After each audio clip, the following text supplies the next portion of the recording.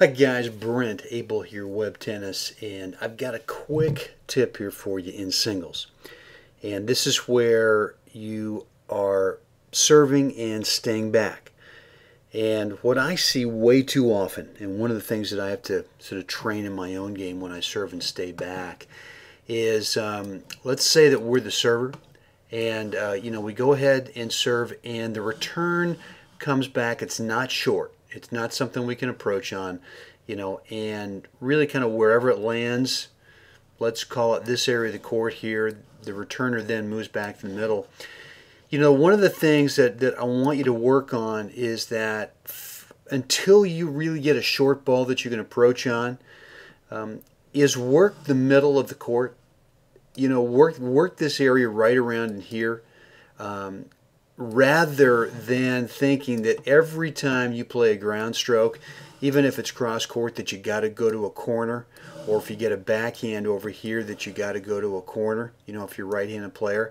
What I want you to do for a while is think about working this part of the court here, right back down the middle and right at that opponent.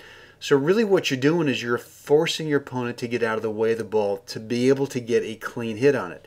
And you know what I see that happens too too often is you know we go for a corner and it doesn't really get into the corner where it extends uh, the opponent out wide. It just kind of it sort of drifts sort of more in the middle.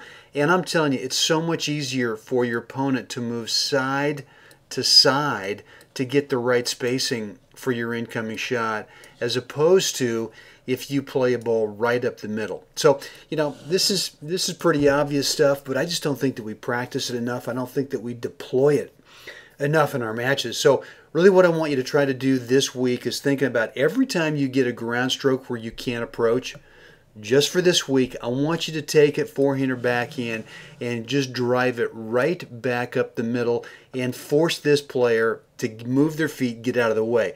And I'm telling you, you're going to get so many more short balls out of that than if you try to go to the corner.